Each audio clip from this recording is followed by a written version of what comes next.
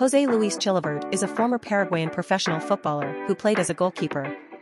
He was born on July 27, 1965, in Luque, Paraguay. Chilavert is widely regarded as one of the greatest goalkeepers in the history of South American football and is known for his exceptional goalkeeping skills as well as his ability to score goals from free kicks and penalties. What set Chilavert apart from other goalkeepers was his proficiency as a set-piece taker.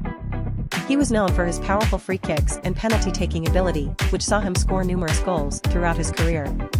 Chilavert scored more than 60 goals in his professional career, a remarkable feat for a goalkeeper.